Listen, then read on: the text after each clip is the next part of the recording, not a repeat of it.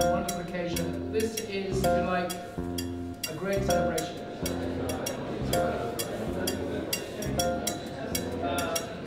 The Taylor Wessing Photographic Portrait Prize here in London at the National Portrait Gallery is a wonderful occasion in which we're looking at submissions from around the world, from 60 countries.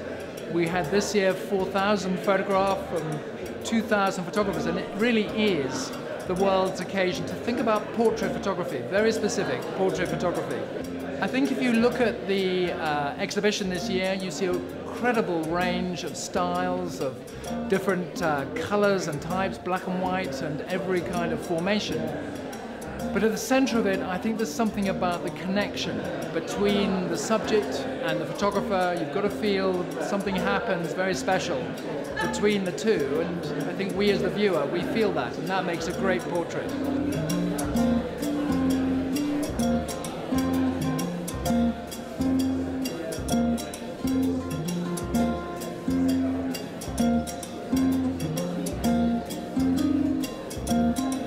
Certainly over the last decade, um, of course, we've seen changes in printing.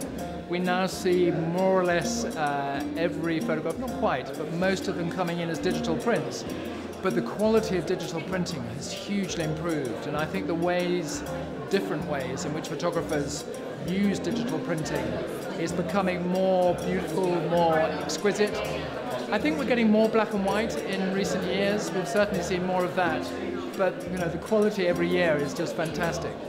Occasionally, some images can be really important in the understanding of world events. We think of famous images, sometimes very tragic images from war or from moments of conflict.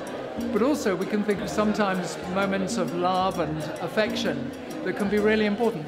They may not change the world, but they certainly act as part of history.